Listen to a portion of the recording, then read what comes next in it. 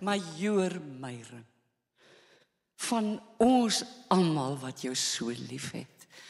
En van my en van Ralf.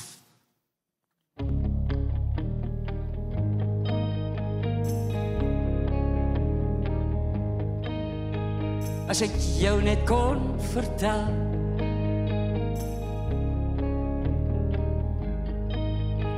As ek jou net kon laat sien.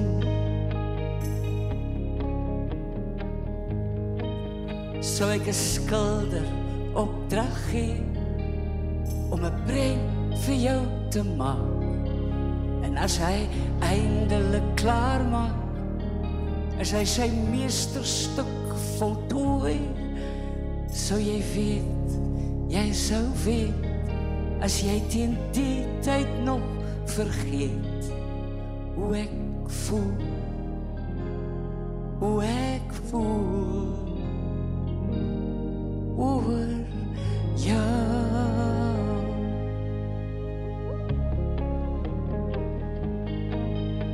As ek jou net kon laat sien.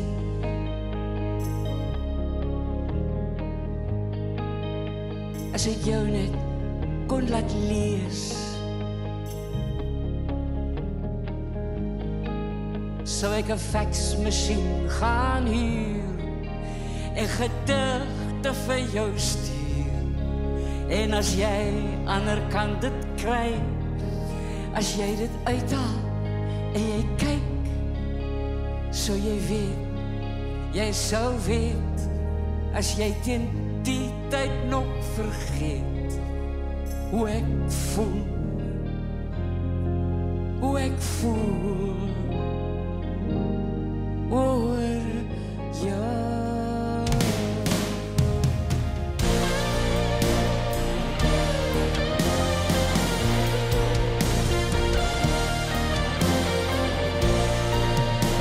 As ek jou net kon laat lees.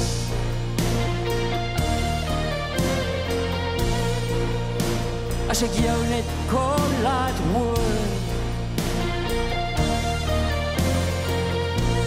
Sou ek 'n koor na jou toe stuur. 'n Serenade in die laat naguur as jy wakker word een aand en jou venster staan weet, jy sou weet as jy teen die tyd nog vergeet hoe ek voel.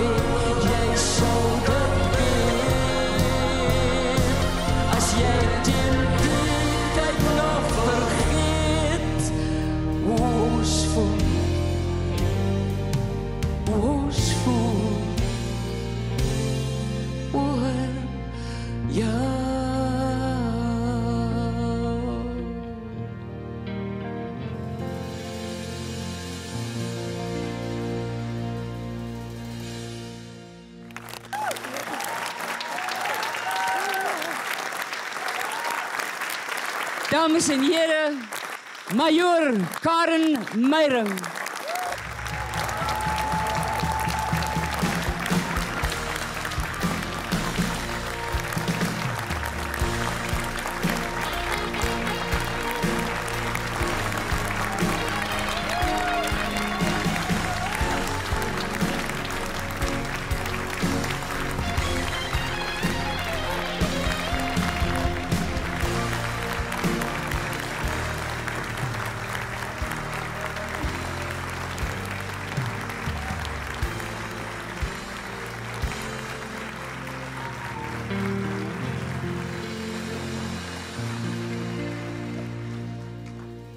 Sjoe, hoe voel ek nou?